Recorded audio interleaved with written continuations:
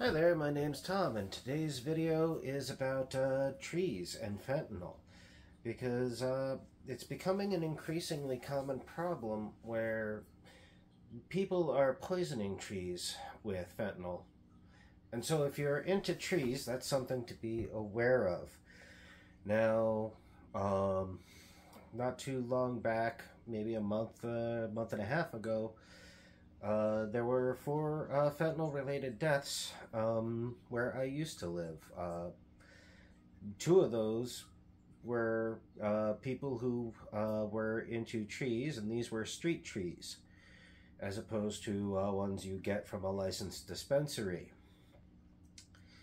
Um, you know, that's why you should consider going to a licensed dispensary for your trees.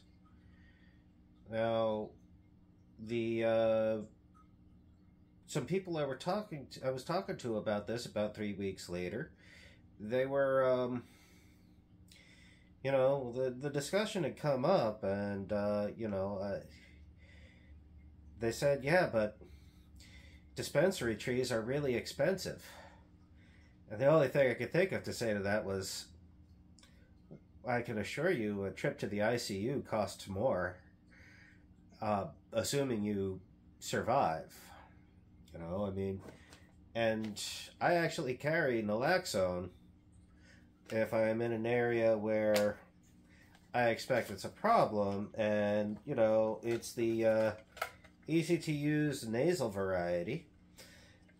But the problem with that is it buys you time in the event of a fentanyl overdose you might need several doses of this and you still need the ICU.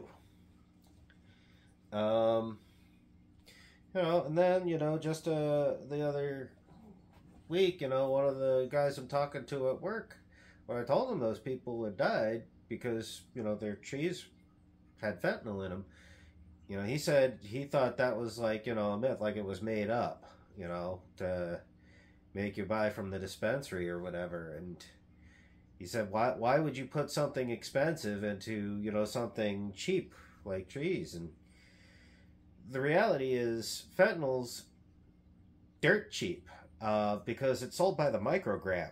It's used by the microgram. I mean. And that's why it kills so many people because uh, micrograms are extremely hard to measure out, especially if you don't have very finely tuned and you know regularly checked calibration on laboratory grade equipment. You know, and so yeah, uh, that's that's where we're at. You know, it's important to remember sometimes what you hear about trees may not be true, but that creates problems because when there is a serious problem that is true, sometimes people have a hard time believing it. So, you know, just worth considering. Like, share, subscribe, and, uh, you know, have a good day. Stay safe. Please leave a comment if I've missed something. Have a good day.